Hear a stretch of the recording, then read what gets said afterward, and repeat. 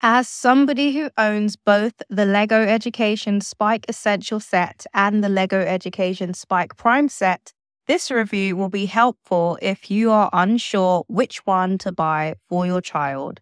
Simply put, the Essential kit, which is this one, is geared toward the younger engineer, typically primary school or elementary school aged children. These sets are popular amongst the coding clubs, and this is the reason that I bought it. Most coding and robotics camps cost a few hundred per week per child, and they typically use these sets as similar, one between two. So I decided to make the investment so my younger two, who were six and three at the time of purchase, could have unlimited use and then eventually graduate onto the prime set my older child uses now. The Essential offers units and lesson plans which are friendly for both classroom and homeschool settings. They are easy to follow, but also allows for free play for children to use the motors and sensors and make and save their own projects. The set is well organized and color coded, something I noticed which was different from the Prime set. This makes it easier for little learners to keep kits organized and find the bits they need.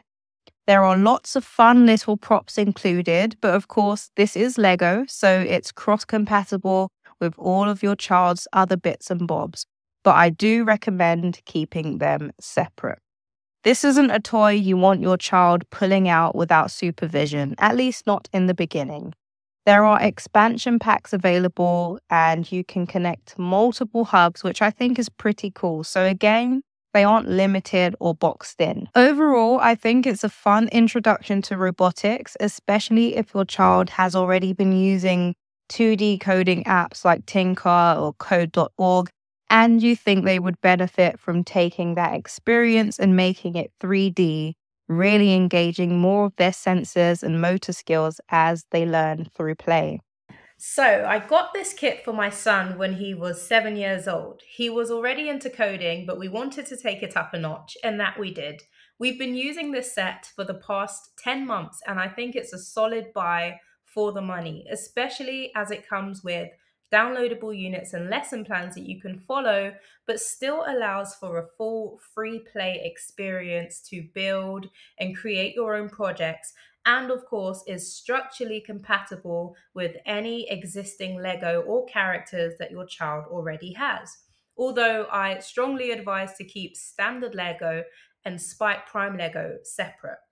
There are many little pieces which, if you know anything about Lego, is typically what you'd expect.